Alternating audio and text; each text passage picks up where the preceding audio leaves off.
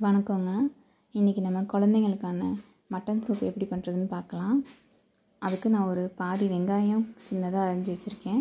ஒரு தக்காளி பாதி பச்சை மிளகாய் கொஞ்சமாக மல்லித்தலை கருவேப்பிலை இஞ்சி பூண்டு மிளகுத்தூள் ஜீரகத்தூள் இதெல்லாம் நான் எடுத்து வச்சுருக்கேன். இது எவ்வளோக்குன்னா அரை கிலோ மட்டனுக்கு. வாங்க இப்போ எப்படி செய்கிறதுன்னு பார்க்கலாம். ஒரு ப்ரெஷர் குக்கரில் கொஞ்சமாக எண்ணெய் ஊற்றி வச்சுக்கோங்க. எண்ணெய் சூடானதும் பச்சை மிளகாவை போட்டு நல்லா வதக்கிக்குவோம்.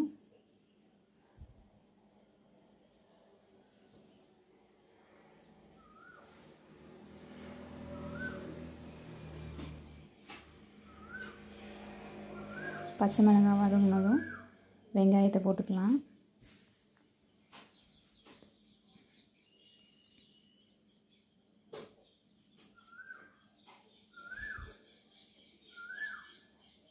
வெங்காயம் நல்லா வதங்கட்டுங்க.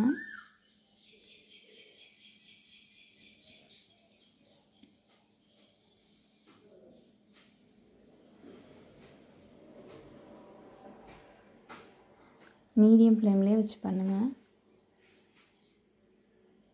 பாருங்கள் வெங்காயம் நல்லா வதங்கிடுச்சு. இப்போ தக்காளி ஆட் பண்ணிக்கலாம்.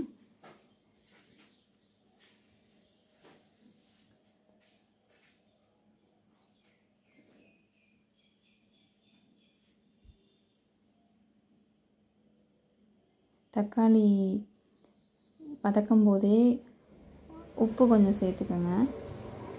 உப்பு சேர்த்தோம்னா நம்ம சீக்கிரமே தக்காளியை வதங்கிடும் நான் எப்போதுமே மொத்தமாக எல் எல்லாத்துக்கும் தேவையான அளவே உப்பு போட்டுருவேன் இப்போவே. பாருங்கள் இப்போ நான் சூப்புக்கு தேவையான உப்பு ஃபுல்லாகவே போட்டுட்டேன் தக்காளி வதங்கும் போதே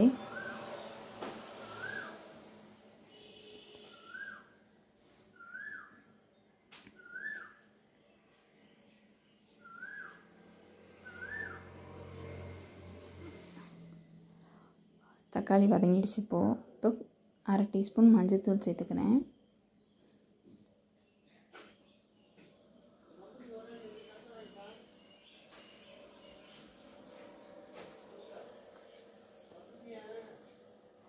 இப்போ தாங்க நான் இஞ்சி பூண்டு சேர்க்க போகிறேன். வெங்காயம் போட்ட பிறகே சேர்த்துடலாம். நான் வெங்காயம் தக்காளி வதங்கின அப்புறம் தான் எப்போயுமே இஞ்சி பூண்டு சேர்ப்பேன். இதுவும் வித்தியாசமாக தான் இருக்கும். ட்ரை பண்ணி பாருங்கள் இப்போ வெங்காயம் தக்காளி போட்டதுக்கப்புறம் இஞ்சி பூண்டை. இப்போ நான் வெங்காயம் தக்காளி வதங்கினப்புறம் இஞ்சி பூண்டு போட்டு நல்லா வதக்கிட்டேன். அது கொஞ்சம் நல்லாவே வாசம் கொடுக்கும். நம்ம வெங்காயம் போட்டு இஞ்சி பூண்டு போடுறதுக்கும் வெங்காயம் தக்காளி போட்டு பண்ணுறதுக்கும் நிறையவே வித்தியாசம் தெரியும். இப்போ நான் கழுவி வச்சுருக்க மட்டன் சேர்க்குறேன். இது எல்லாம் கலந்தது தான் நெஞ்செலும்பு சதை எல்லாம் கலந்தது தான்.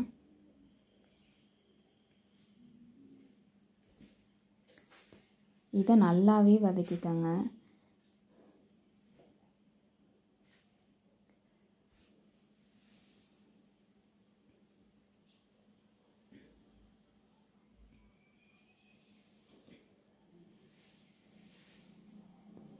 ஃபுல்லாக அந்த நம்ம வதக்கின மசாலாலாம் அந்த கறியோடு நல்லா கலக்கிற அளவுக்கு வதக்கிக்குங்க. மஞ்சள் பத்தலை. நான் அதனால் திரும்ப கொஞ்சமாக மஞ்சத்தூள் ஆட் பண்ணிட்டேன்.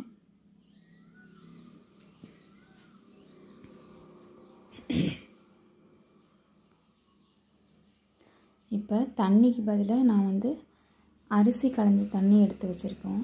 சூப்புக்கு எப்போவுமே அரிசி களைஞ்ச தண்ணியை ஊற்றணுன்னா ஃப்ளேவர் நல்லாவே கொடுக்கும்.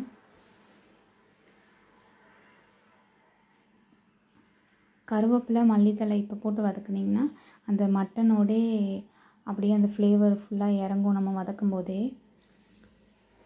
இப்போ குழந்தைங்களுக்குன்றனால நம்ம கொஞ்சமாக தான் போட போகிறோம் மிளகுத்தூள் ஜீரகத்தூள். அதனால் க வதக்கும் போதே சேர்த்து போட்டு இது பண்ணிக்கோங்க. பெரியவங்களுக்கு கொடுக்கணுன்னா சூப்பாக எடுத்த பிறகு மிளகுத்தூள் எவ்வளோ வேணுமோ அதை போட்டுக்கோங்க.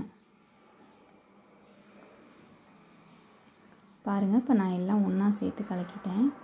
இனிமேல் தான் அந்த தண்ணி ஊற்ற போகிறேன்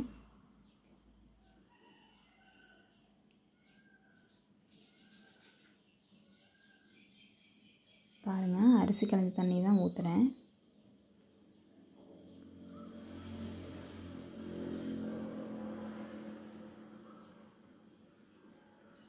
தண்ணி ஊற்றிட்டு நல்லா மிக்ஸ் பண்ணிக்கோங்க. கறி முங்குற அளவுக்கு தண்ணி ஊற்றினா போதும். ரொம்பவும் தண்ணி ஊற்றினா அந்த கறியோட வாசமே இல்லாத மாதிரி இருக்கும். அவ்வளோதாங்க இதை மூடி வச்சுட்டு ஒரு ஆறு ஏழு விசில் விடுங்க. நான் மூடி வச்சிட்டேன். ஆறு ஏழு விசில் வந்த பிறகு இப்போ சூப்பை அப்படியே எடுத்து ஊற்றிக்கிறேன்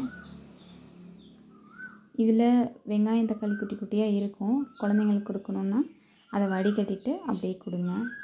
ரொம்பவும் சத்தானது. நல்லா இருக்குங்க ட்ரை பண்ணி